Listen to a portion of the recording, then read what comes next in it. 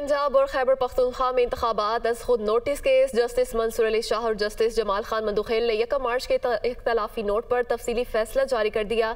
इख्तलाफी फैसले में कहा गया है कि अज खुद नोटिस ख़त्म करते हुए दरख्वास्तें मुस्तरद की जाती हैं। फैसले में चीफ जस्टिस के इख्तियार पर भी सवाल उठा दिया गया। तफसीत के लिए रिपोर्ट देखिए। जस्टिस मंसूर अली शाह और जस्टिस जमाल खान मंदखेल के यकम मार्च के इख्तलाफी नोट पर तफसीली फैसला जारी। इख्तलाफी फैसले के मुताबिक अज खुद नोटिस की दरख्वास्तें चार तीन से मुस्तरद। अज खुद नोटिस की कार्रवाई भी खत्म, कहा पूरी अदालत को सिर्फ़ एक शख्स पर नहीं छोड़ सकते। चीफ जस्टिस के इख्तियार को रेगुलेट करने की है ज़रूरत। फैसले में चीफ जस्टिस के अज खुद नोटिस के इख्तियार पर भी उठा दिए सवाल जस्टिस मंसूर अली शाह ने अट्ठाईस सफात पर मुश्तमिल इख्तलाफी फैसले में कहा है कि हाई कोर्ट में केस जेर अल्तवा होने के बावजूद खुद नोटिस लिया गया। हाई कोर्ट जेर अल्तवा दरखास्तों पर तीन रोज में फैसला करे। अदालती दायर इख्तियार केस से जुड़े मफादात नहीं, बल्कि इसकी नोयत तय करती है।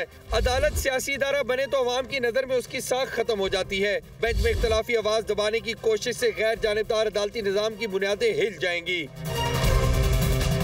इख्तलाफी नोट में कहा गया है कि आर्टिकल एक सौ चौरासी तीन का दायरा इख्तियार सवाबदीदी और खास नोयत का है, जिसे बुनियादी हकूक के मुकदमात में इस्तेमाल किया जा सकता है। जजेस को उनकी मर्ज़ी के बरक्स बेंच से निकालने की कानून में इजाज़त नहीं। जस्टिस अतर मिनल्ला और जस्टिस जहिया अफरीदी के फैसले से इतफाक करते हैं। दोनों जजेस ने बेंच में रहने या ना रहने का मामला चीफ जस्टिस पर छोड़ा, जबकि जस्टिस इजाजुल हसन और जस्टिस मुजाहिर नकवी खुद बेंच से अलग हुए।